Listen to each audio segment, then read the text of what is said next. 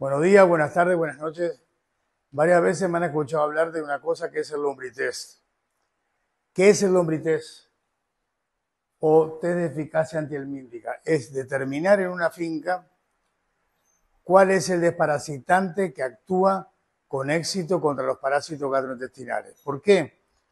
Porque en muchas partes del país, sobre todo en la zona norte, se ha abusado de algunos antiparasitarios como las lactonas macrocílicas las lactonas macrocílicas son la ivermectina, la doramectina, la abamectina, la epinomectina, para el control del tórsalo en dosis muy bajas y esto hace que se adquieran resistencia. Mucha gente ha abusado de parasitar durante años con albendazol. Los parásitos han vuelto resistentes. Entonces, en vez de estar recomendando a sigas un antiparasitario, hacemos un test de eficacia antihelmíntica. O sea, qué desparasitante actúa en esa finca con más de un 95% de eficacia. Esto es fundamental. ¿Cómo hacemos? Es muy sencillo. Nada más que no se puede hacer en todas las fincas. Primero, precisamos un lote de 45 terneros.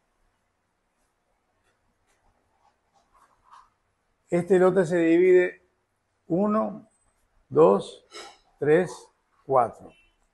A nueve terneros se les va a dar una ivermectina. A nueve terneros se le va a dar albendazol. A nueve terneros se le va a dar levamisol. Y a nueve terneros no se le va a dar nada. Entonces 9 por 4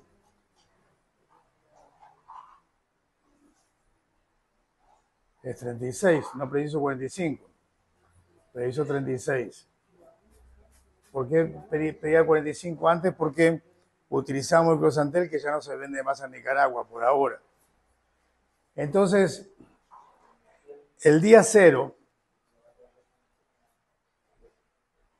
el día cero, yo tengo que tener los terneros diferenciados. Los puedo tener con chapa, o les puedo poner un, collar, o les puedo poner algo que los diferencie perfectamente uno de otro. Les doy estas drogas.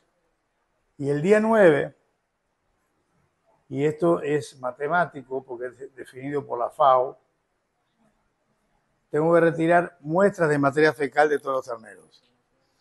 Y tomando este como base, yo voy a ver cuánto es la eficacia antihelmíntica de estos antiparasitarios.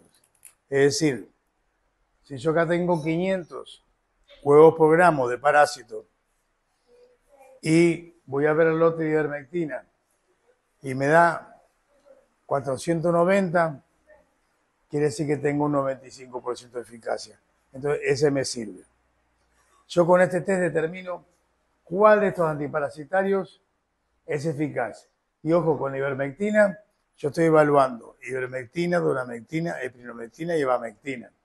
Con el albendazol, evalúo albendazol, febendazol, cibendazol o bendazol. Con el levamisol, evalúo levamisol y tetramisol. ¿Estamos claros? Espero que este video les haya sido de utilidad. Si es así, denle like, suscríbanse a nuestro canal Será hasta la próxima, si Dios quiere.